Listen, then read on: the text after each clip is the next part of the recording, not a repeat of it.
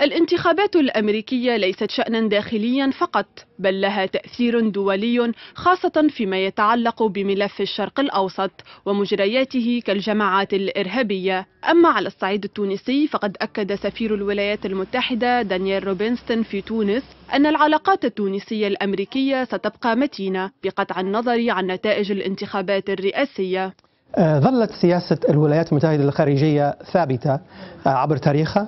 آه، لا تتغير من إدارة إلى إدارة كما دأبت على ألا تكون متحزبة. ملتزمون كل الالتزام بمواصلة الدعم لأصدقائنا التونسيين وهذه المساعدة ستتواصل بعد هذه الانتخابات. نتائج صبر الآراء الأخيرة تكشف عن منافسة محتدمة بين المرشحين. بنتائج متقاربة تنتظر الفصل هذه الليلة عبر الولايات الحاسمة. ليبقى السؤال المطروح إلى آخر ورقة اقتراع من سيكون الرئيس القادم للبيت الأبيض؟